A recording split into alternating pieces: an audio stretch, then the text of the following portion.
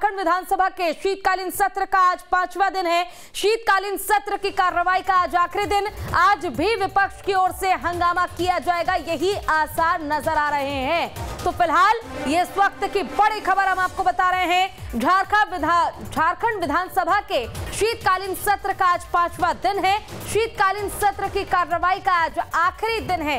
यानी कि ये पांचवा दिन आखिरी दिन है। आज भी विपक्ष की ओर से हंगामा के आसार नज़र आ रहे हैं। आज भी विपक्ष की ओर से हंगामा किया जा सकता है। तो देखिए, फ़िलहाल जिस तरह से लगातार बाकी चार दिनों तक हमने देखा कि विपक्ष ने सरकार को घेरने की कोशिश की, तमाम मुद्दों को लेकर आवाज़ बुलंद की और न केवल सरकार को घेरा, बल्कि फर्श पर लेटकर भी प्रदर्शन किया गया। विपक्ष की ओर से सरकार का विरोध किया गया। इसको लेकर आज भी यही उम्मीद की जा रही है कि विपक्ष आज भी सरकार को घेरने का ही काम करेगा।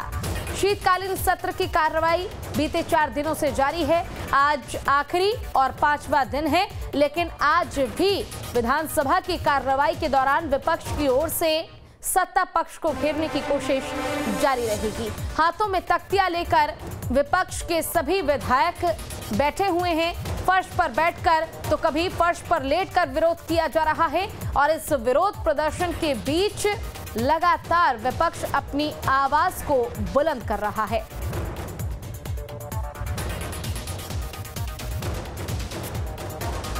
तो फ़िलहाल ये बड़ी खबर हम आपको बता रहे हैं, जहाँ शीतकालीन सत्र की कार्रवाई लगातार जारी है। आज पांचवा और आखिरी दिन है, लेकिन विपक्ष यानी कि बीजेपी लगातार सत्ता पक्ष को घेर रही है और न केवल सत्ता पक्ष को, बल्कि मुख्यमंत्री हेमंत सोरेन को लेकर भी तमाम आरोप लगाए गए। हाथों में तख्तियाँ लेकर और उन तख्तियों पर तरह तरह की बातें लिखकर सरकार का विरोध किया गया और मनी लॉन्ड्रिंग मामले में सीएम हेमंत सोरेन पर भी कई आरोप लगाए गए। हालाँकि भारतीय जनता पार्टी की ओर से ये विरोध लगातार जारी है। आज आखिरी दिन है, लेकिन आखिरी दिन भी विरोध के ही आसार नज़र आ रहे हैं। उम्मीद यही की जा रही है कि आज भी विरोध किया जाएगा। हालाँकि शीतकालीन सत्र के दौरान तमाम मुद्दों को लेकर चर्चा होनी थी।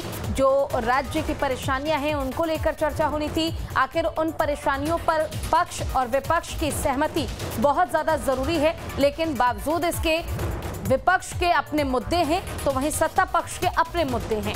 दोनों ही पक्षों की ओर से विरोध किया गया तो किसी ने समर्थन किया। लेकिन आज पांचवा दिन है और पाँचवें दिन भी विरोध के ही आसार नज़र आ रहे हैं विपक्ष की ओर से। हंगामेदार कार्रवाई रही चार दिन तक, अब पांचवा दिन भी क्या हंगामेदार होगा, ये देखने वाली बात होगी। तो शीतकालीन सत्र की कार्रवाई लगातार जारी है। आपको बता दें कि फ़िलहाल चार दिन का समय बीत चुका है, पांचवा दिन आज है और आज ही आखिरी दिन विधानसभा की कार्रवाई का है। लेकिन कार्रवाई के दौरान आखिर किन मुद्दों को लेकर अब और आवाज़ बुलंद करेगी बीजेपी, ये भी देखने वाली बात होगी।